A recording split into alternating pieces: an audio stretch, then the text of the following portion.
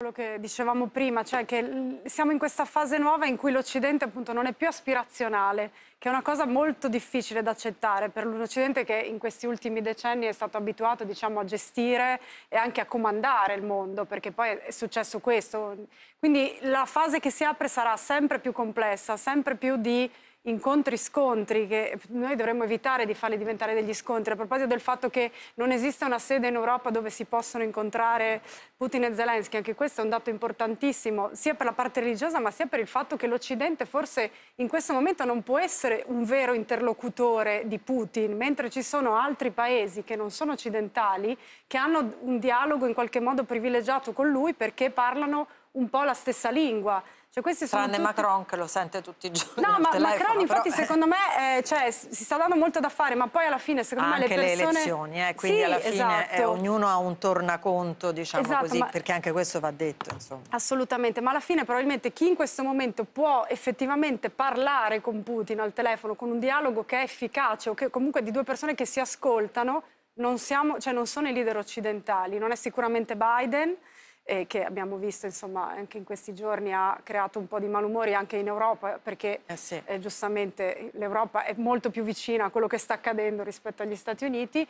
ma probabilmente Erdogan, Xi Jinping, cioè sono altri gli attori che in questo momento hanno forse un potere più persuasivo, dissuasivo rispetto a, a, ai leader occidentali. Quindi è proprio un cambio dal mio punto di vista abbastanza epocale. Da, da questo e... punto di vista il tramonto delle Nazioni Unite che in questa vicenda è drammatico.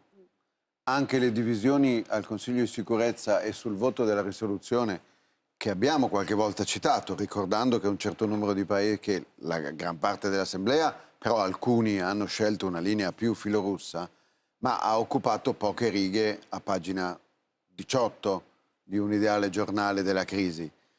Le Nazioni Unite, che sono una creatura multilaterale, ma in realtà a trazione euroamericana dal punto di vista delle decisioni, non riescono a giocare alcun ruolo in questa storia. Ma infatti la Cina aveva motivato la sua astensione dicendo che la risoluzione non è stata condivisa con tutti i membri e questa cosa non funziona più, cioè bisognerà cambiare, ad esempio tutti usiamo la parola guerra fredda sì. e secondo me anche quello è sbagliato perché la guerra fredda riporta alla mente un'epoca in cui c'erano dei blocchi separati non è più così, non siamo sono... tutti interconnessi. I cinesi, io lo scrivo nel libro, la chiamano la pace calda, questa nuova fase, perché usare anche le parole diverse, secondo me, ci fa capire che siamo davanti a cose diverse. A, a... Anche la pace, tu dicevi prima, ognuno interpreterà la pace a seconda... È molto vero questo che dice Giada. Eh? Eh. Ricordiamoci che negli anni della guerra fredda era quasi impossibile telefonare esatto. tra l'Europa e Mosca. Esatto non, non c'era sì, sì, un sì, numero telefonico da comporre per chiamare di là, tranne